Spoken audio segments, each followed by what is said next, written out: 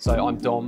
Um, I'm the commercial director at Scale Digital. So four or five years ago, um, we started as a traditional affiliate agency, affiliate management agency, and um, in the last sort of 18 months, we've we've broadened our our skill set. So now we we do performance affiliate marketing, influencer marketing, mobile marketing. There's some other channels that that we're investing in, um, but yeah, we're we're essentially all about cost efficient user acquisition. That's our that's our bread and butter. We're we're less kind of awareness consideration. We're we're bottom of the funnel, but of course there's a lot of lot of things um, that you know impact can can offer that that now are higher up the higher up the funnel that we're we're also getting involved in. So yeah, that's our traditional setup.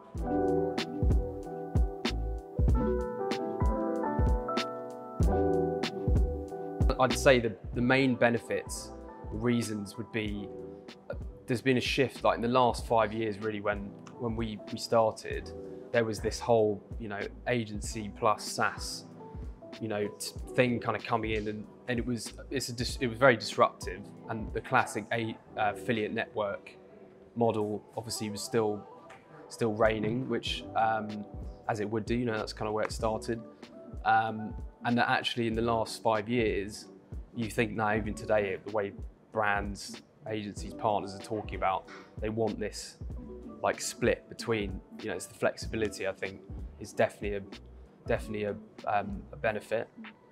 I think also from our standpoint, um, we want, you know, there's brands that have lots of intricate integrations, implementations, like all their BI tools, CRM, integrations, like there's loads of capability to do on impact. And, and when we're implementing and integrating brands, that's quite a crucial part of, of what we offer is like they say, I want to implement our wider tools. I think there's some limitations on the networks to do that, or it's not a focus, of course, because they're not kind of technology first. But yeah, it's, um, I think it, it depends on the user case, but I think the main one for us is brands, flexibility, and, and we can add more value by actually being experts on one platform, not kind of following following the crowds. Makes perfect sense.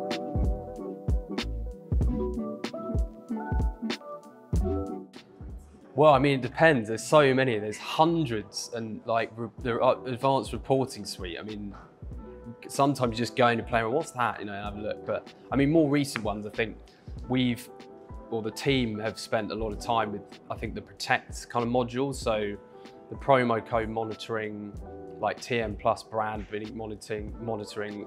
Obviously, it depends on the like life cycle as where you are as a brand.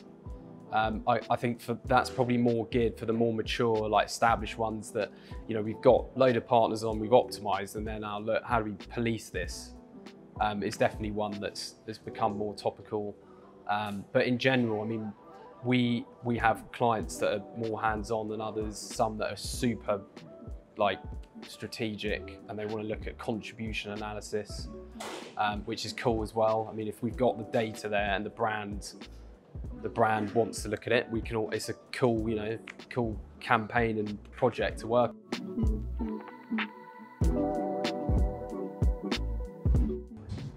Yeah, so I mean, I, recently we've we've kind of taken everything apart and and really like I think we have to ask ourselves some hard questions about what value do we add as you know agencies as, as businesses in in the channel because it's constantly evolving.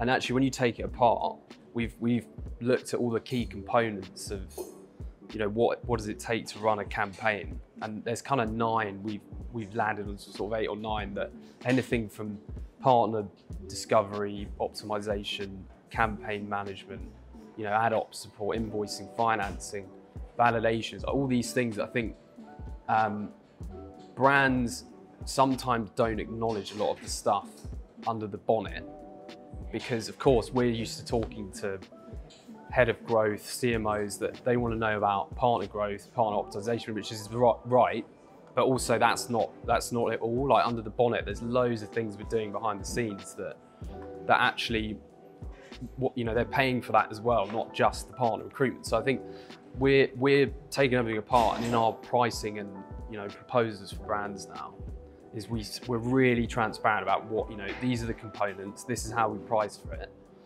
and that that's you know it, when you lay it out and see it like that, you go. There's a lot more to this than than actually what meets the eye in a lot of respects. So I think it's on us to you know really push that home to brands that you're not just paying for like we're going to find you a few new partners. There's so much behind the scenes that we do to, to deliver that. So yeah, it's, it's been fundamental for us to, to, to really add and know what value we're, we're bringing to brands. So it, yeah, impact's been a big part of that. And of course it will continue to be, but um, yeah, we're, we've got to evolve. Like the channel's changing, demands from clients are different and it's on us to, to be ahead of that.